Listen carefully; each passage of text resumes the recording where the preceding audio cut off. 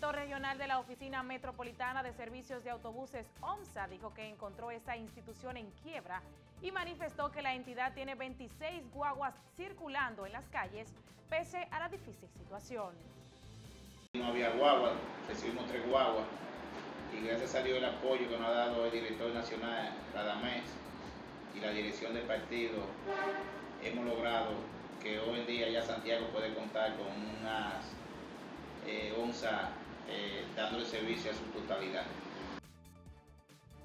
Tito Bueno les exhorta a la población a utilizar ese tipo de transporte debido a que es más barato y más cómodo.